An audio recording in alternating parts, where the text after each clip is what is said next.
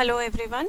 In this video we'll learn how to print Fibonacci series using while loop. So uh, I'm using BlueJ for this. You can use any software. Uh, so let's start with by creating a new class. Okay. So let's click on this new class button and uh, let's give the name of the class as Fibonacci. Okay. And click on OK.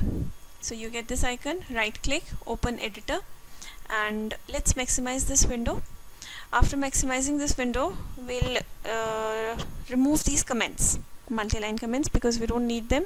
And let's remove this code also which BlueJ has automatically generated for us. And now we are left with this method. Let's change the return type of the method to void. And let's change uh, the name of the method to cal okay? And here this method is receiving an int parameter.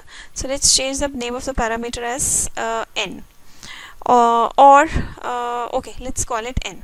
Let's remove this code within the method.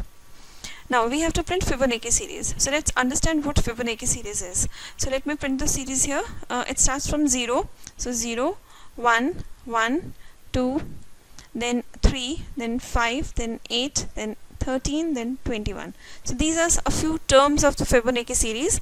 As you can see the third term the third number is the sum of previous two numbers.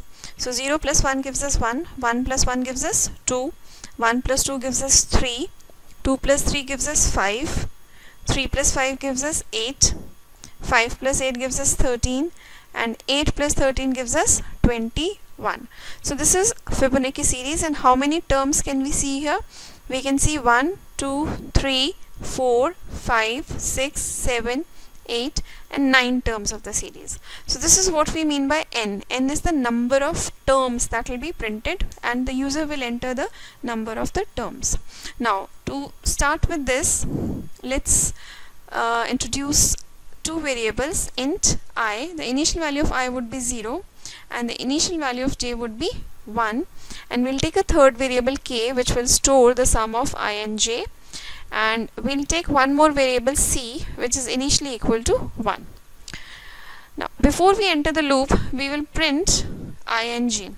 So s should be capital system dot out dot print ln uh, i plus give a space plus j plus give a space and okay now since it is a series it has to be printed horizontally so we should not use print ln we should use system.out.print method to print it horizontally. Series has to be printed horizontally. Now after print so this statement will print the first two terms of the series that means 0 and 1 after printing 0 and 1 now we'll enter the loop that means we'll start the loop while c is less than equal to n. n is the number of terms, number of times the series has to, number of terms of Fibonacci series that we have to print.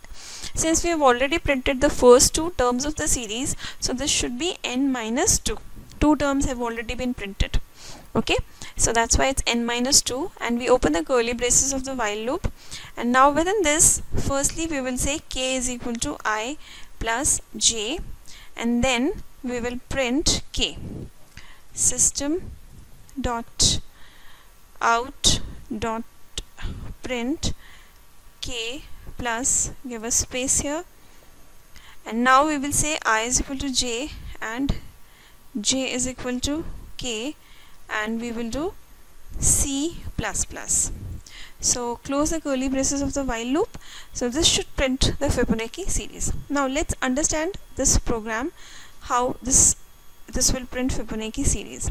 So here we have introduced three variables i j k which is for the series and another variable c which is just to keep track of how many terms of the series have been printed. Now if you see the initial value of i is 0 and the initial value of j is 1 okay? So we print 0 and 1 before we enter the loop so it prints the first two terms of the series now then we enter the loop and when we say k is equal to i plus j so k becomes k becomes 1 so we print 1 that is the third term of the series okay? Now when we say i is equal to j that means we are saying i takes the value of j. I gets the value of j. So i becomes what? I becomes 1 and then we say j is equal to k. So j gets the value of k. So j becomes 1 after that we say c plus plus. So c was initially 1 so c becomes 2 okay? So c becomes 2 now in the next iteration when it goes here c is less than equal to n minus 2 so k becomes again i plus j. So this time i is 1 j is 1 so k becomes 1 plus 1 that is 2 okay? So 2 gets printed. That means this term of the series gets printed. Now after that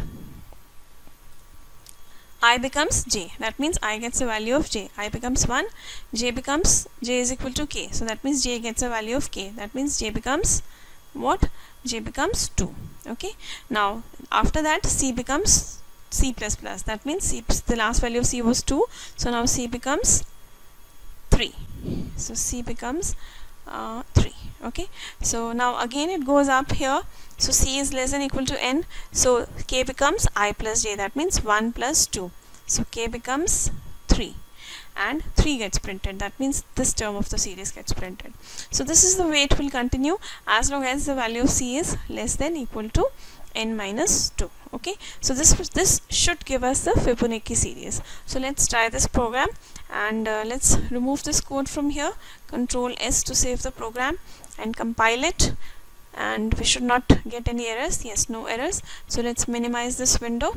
And now we will right click on this and new Fibonacci and say OK so you get this. And now we right click and choose this method void cal. And here enter the terms how many terms you want of the series. Let's say we want to print 10 terms of the series. So okay. So see we get this output 0 1 1 2 3 5 8 13 21 and 34 how many terms are there? 1 2 3 4 5 6 7 8 9 10 10 terms of Fibonacci series. So this is how you can print the Fibonacci series. So if you like this video please click on like and share and subscribe to my channel